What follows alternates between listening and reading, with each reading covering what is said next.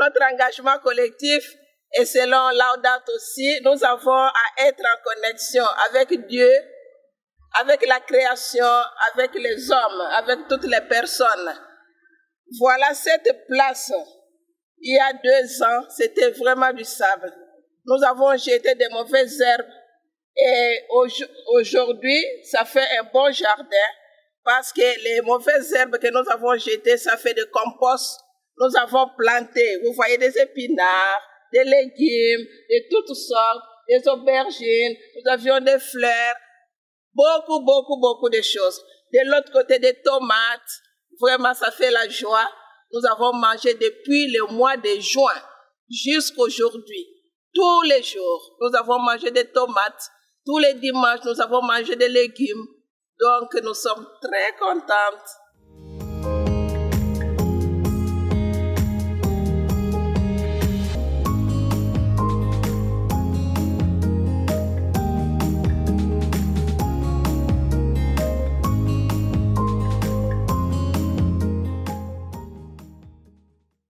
Les tomates, les légumes que nous avons pris de notre jardin, pas seulement pour nous, nous avons partagé avec beaucoup de gens de l'extérieur.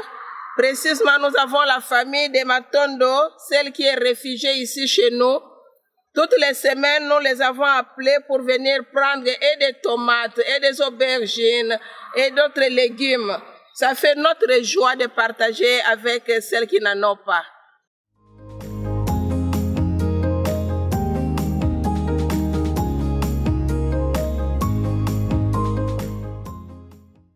Voici notre réserve de compost.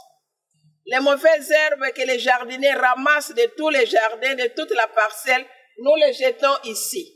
Et c'est ça qui nous aide parce que nous n'utilisons pas des engrais chimiques naturels.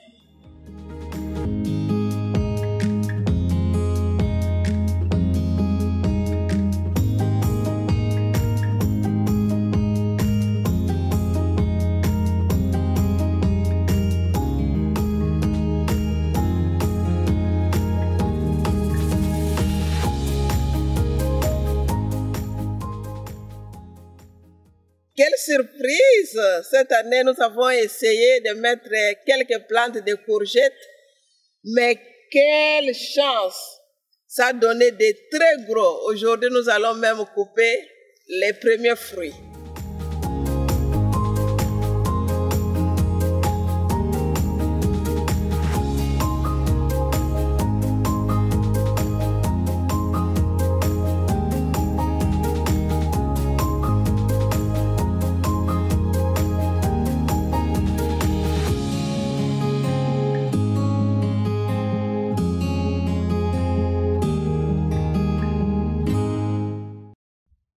Contente de notre travail d'été parce que pendant l'été, le soleil se couche même plus tard.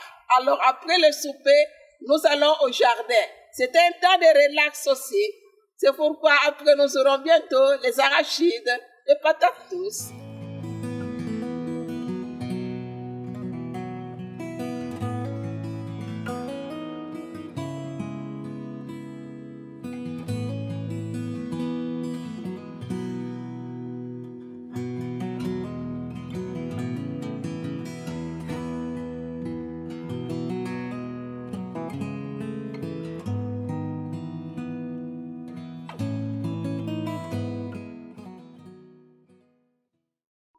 Chers frères et sœurs, voici ce gros arbre qui était ici. Nous l'avons coupé parce que les branches n'étaient pas bonnes.